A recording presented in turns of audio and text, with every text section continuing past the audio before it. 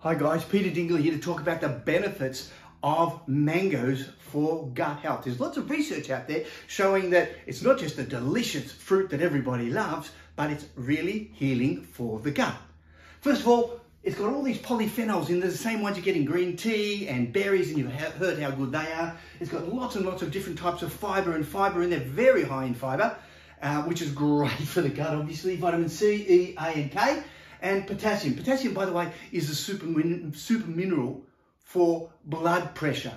So you can see this is going to have so many benefits and wow, what a great tasting. It have lots and lots of mangoes.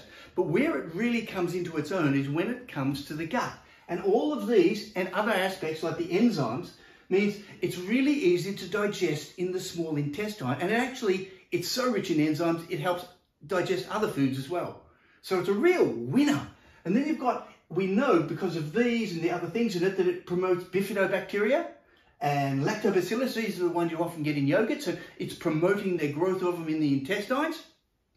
And this one, Akkermansia, which is known as the one that helps control diabetes type 2.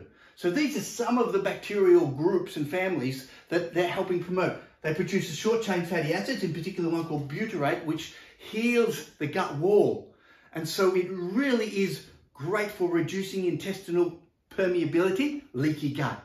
And all of the studies show, all of them, show that it works and assists on three particular conditions. And the first one is constipation. So studies of three consuming mangoes for three or four weeks, one or two uh, mangoes for three or four weeks, literally improves constipation. And it's not just because of the fiber, it's because of the combination of nutrients in the gut that actually also talk to the gut to move it through.